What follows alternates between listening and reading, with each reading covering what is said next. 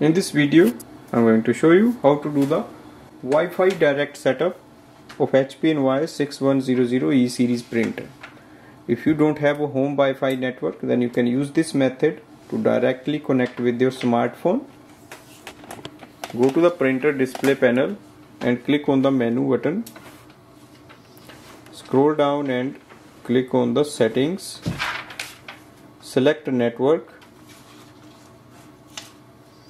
Wi-Fi direct. Activate it using this button. You can switch it off and switch it on from here. And then click on the view details. It will display the name of printer's Wi-Fi and below is the password of the printer. Go to your smartphone and open the Wi-Fi settings. So go to the Wi-Fi section. Wait for the printer to appear select it enter the password as displayed on the printer panel.